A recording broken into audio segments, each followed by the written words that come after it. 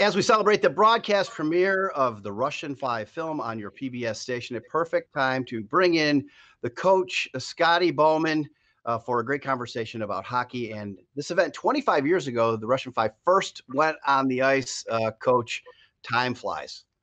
It sure does. And, uh, you know, when I got to Detroit, of course, uh, we had Vladimir Konstantinov and Sergei Fedorov with Slava Kozlov had just started. He came over from Russia started in the minors, but not didn't stay very long and had a great first year. And then we were looking for defensemen uh, actually uh, at the trade deadline, and uh, we were looking for depth to be to be truthful about it. And uh, Slava Fetisov was in New Jersey, but he wasn't playing very much, so we made the deal to get Slava, and uh, we had a we had a good run that year, but we got beat in the finals four straight by his old team, New Jersey, and and he had kept mentioning to me uh, during that time. My good friend Igor Larionov, and we knew him because he he single-handedly just about beat us with San Jose uh, in uh, in the playoffs in '94. So he said, you know, he'd like to come to Detroit, and I said, well, I don't think they'd ever trade him, but we had a surplus of wingers, and uh, I I, uh, I, was able to make the trade to uh, to get uh, Igor. We traded a good player, Ray Sheppard. He was a good goal scorer, but we had other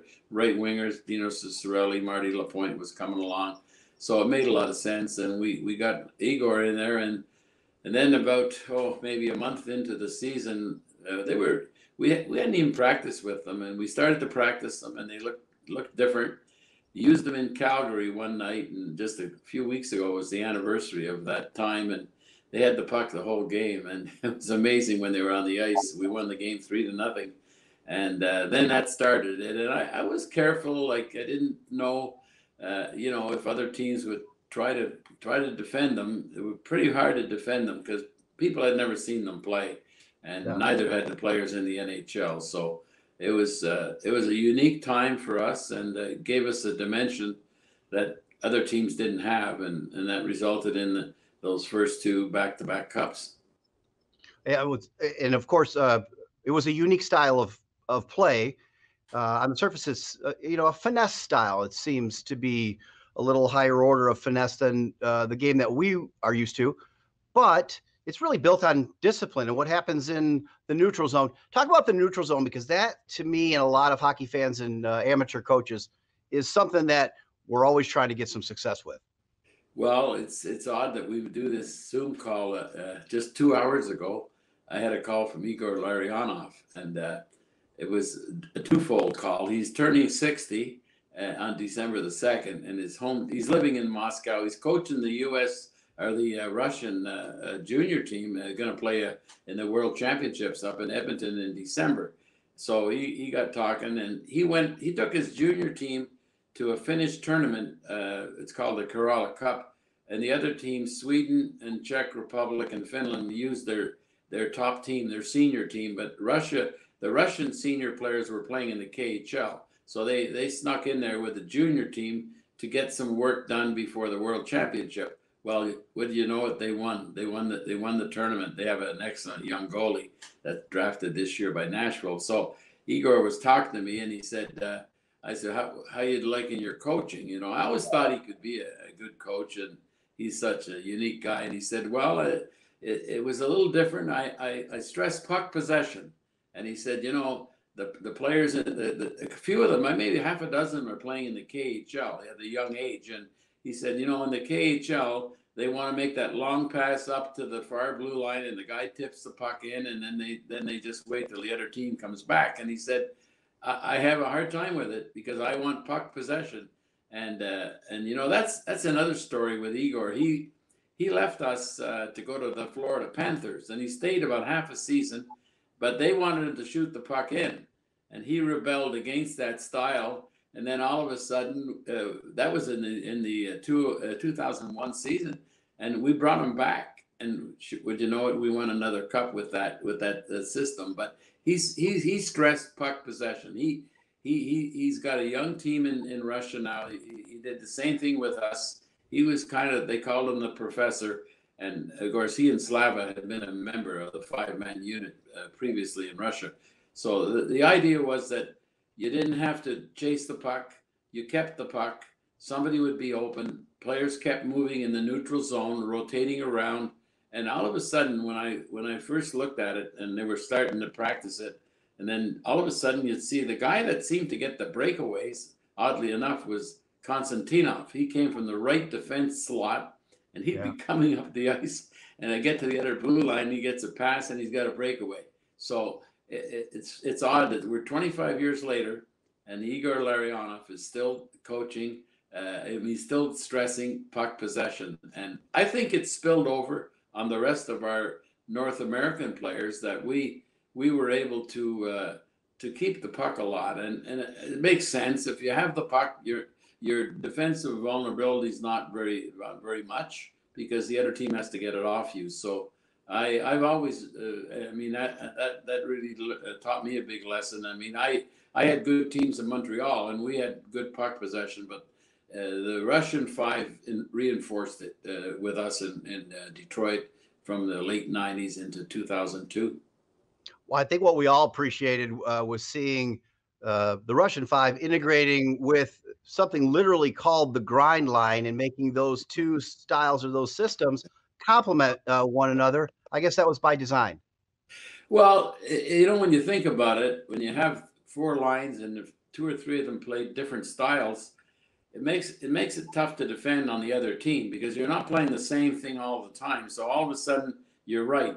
The grind line was was they they they they stressed forechecking. They stressed uh, physicality. They could they could defend, and then you turn around, and then the Russian five would come out, and you and, and they would play offense. So it, it really threw a good monkey wrench into the other teams. It wasn't always that way, uh, but they they did a good job of making sure that it was tough to play against. And it seems, uh, at least from a fan's perspective, you were always a coach that stressed a system um, over star players. And, and, then you had to get people to change their game and let the stars shine when they could shine, but also be a part of a greater system for success. You're right. And, uh, you know, the mixture of the team, uh, and I, I like the fact that uh, we had we had the we had the size and, and I think to win in the league and it's no different now. If you if you can't play physical at times or you can't play puck possession or you can't play defense, and I I, I was always one that could stress defense because no matter how you're going to do it and how you're going to win, you've got to get a lead, you got to score, and then you got to defend that lead.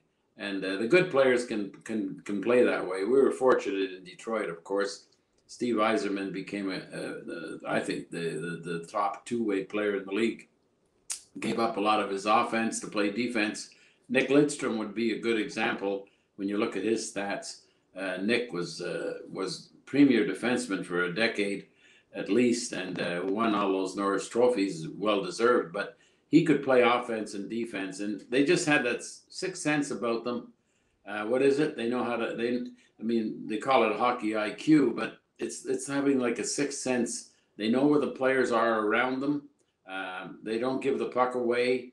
The, they they know it's it's hard to get back. So uh, that was a big part of the, the Red Wings style, and uh, other teams have picked it up. And the good teams, uh, that's I mean the Lightning just won this year, and of course Steve was instrumental in building that team. But they they they showed what they could do. Uh, they got good skill players, and skill players can win games if they play the right way and the the uh, throwing the puck to open ice by design and get and having a, a guy meet uh, the puck uh, where it lands seemed to be something that maybe the Russian five maybe modeled a little bit for for the other players because at least from a fan's perspective it seemed like they picked up a little bit of that uh, uh, finesse from the Russian five players. Well, the Russians started to play a different style when they learned the game, and in the, in the Summit Series, they call it the 72 Series, Team Canada against uh, Team Russia won 8 mm-hmm. games before it was over. Canada finally won late in the in the eighth game, but the uh, we didn't see that kind of style in North America because all of a sudden their defensemen would always pass it to each other in the defensive zone. The two forwards would take off and leave the zone, which was that was a no-no in, in our game. They would leave the zone they'd crisscross in the neutral zone, and automatically when they when we saw that for the first time, it pulled our defensemen in North America out of the end zone, and it, it left them because they they didn't want these players to get breakaways and and and when you think about it, that was when there was a red line in. The center line was sort of like a a protector for the defensive team. Now, of course, you can go all the way up to the far blue line without the center line. So that was the amazing part of the the Russian style that they we, we had a tough time in that series, and it was a good. Supposed to be a one-sided series, but why why it was not one-sided is we never see that style, and I think it's like all sports. When you see a style for the first time, whatever sport you're playing, I mean, people get onto it and they'll eventually be able to, to defense it. But the guy that starts it, the team that starts it, it's got a big edge. And they brought that to the NHL. They crisscrossed wingers.